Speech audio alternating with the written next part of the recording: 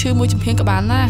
បូដេនមិចបំបត្តិឈឺមួយចំហៀងក្បាលយ៉ាងមានប្រសិទ្ធភាពឈឺក្បាលនិងឈឺមួយចំហៀងក្បាលបណ្ដាលមកពីរោគប្រកាំងខ្ញុំទុកចិត្តតែប៉ដេនមិចប៉លប៉លប៉លប៉ដេនមិចបំបត្តិឈឺក្បាលរោគប្រកាំងឆាប់រហ័សនិងប្រសិទ្ធភាពខ្ពស់បាទពិធីបុណ្យអុំទូកដែលបានធ្វើឡើងកាលពីថ្ងៃទី27ខែតុលាឆ្នាំ2019ក្រោមអធិបតីភាព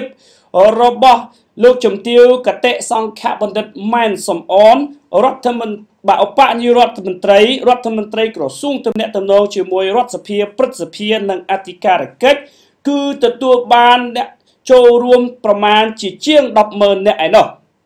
បាទពិធីបុណ្យអុំទូកនេះគឺមានការចូលរួមប្រកួតប្រជែងចំនួន54ទូកដោយមានការអញ្ជើញចូលរួមពីសំណាក់ឯកឧត្តម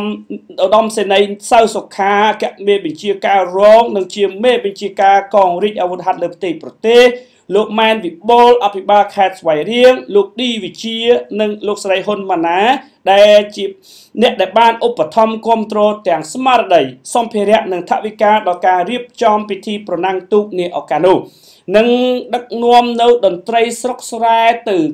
លេងកំសាន្តចែកជូនដល់បងប្អូនអ្នកស្វ័យរៀងយើងផងដែរនៅក្នុងឱកាសនោះគឺលោកស្រីម៉ែសំអនបានថ្លែងថាក្រោមការដឹកនាំប្រកបដោយកតេបណ្ឌិតរបស់សម្ដេចតេជោ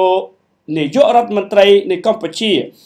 បានធ្វើឲ្យការដឹកនាំប្រទេសនេះគឺទទួលសុខសន្តិភាពពេញបរិបូរណ៍និងមានការអភិវឌ្ឍរីកចម្រើនឈានឡើងលើគ្រប់វិស័យចំណែកឯជីវភាពរស់នៅរបស់ប្រជាជនទូទាំងប្រទេសកាន់តែល្អប្រសើរនិងមានសុភមង្គល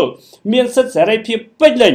ក្នុងការប្រារព្ធពិធីបុណ្យជាតិប្រពៃណីនិងបុណ្យសាសនានានាយ៉ាងសប្បាយរីករាយហើយទទួលបានឱកាសការងារច្រើន ទូទាំងប្រទេសតែម្ដងលោកជំទាវកតេសង្ឃបណ្ឌិតម៉ែសំអនបានបញ្ជាក់ផងដែរថាតាមរយៈការរៀបចំពិធីប្រណាំងទូកនេះគឺធ្វើឡើងពេញមួយថ្ងៃតែម្ដងទទួលបានភ្ញៀវទេសចរចូលរួមទស្សនាប្រមាណជាជាង100000នាក់ហើយលោកជំទាវក៏បានប្រគល់នៅពានរង្វាន់ជូនដល់ម្ចាស់លេភីនៃការប្រណាំងទូកនេះផងដែរលោកជំទាវម៉ែសំអនក៏បានអំពាវនាវឲ្យប្រជាពលរដ្ឋទាំងអស់គ្នា គឺថា ប្រែคลายថ្ងៃ9វិច្ឆិការបស់យើងឲ្យទៅជាថ្ងៃបុណ្យឯករាជ្យជាតិជាថ្ងៃកំណើតនៃកងយុទ្ធពលខេមរៈភូមិន្ទឲ្យទៅជាថ្ងៃទី9វិច្ឆិកាទទួលទានបាទអំបុកទាំងអស់គ្នា ហើយអំបុកនេះគឺអំបុកការពារជាតិសាសនានិងព្រះមហាក្សត្រ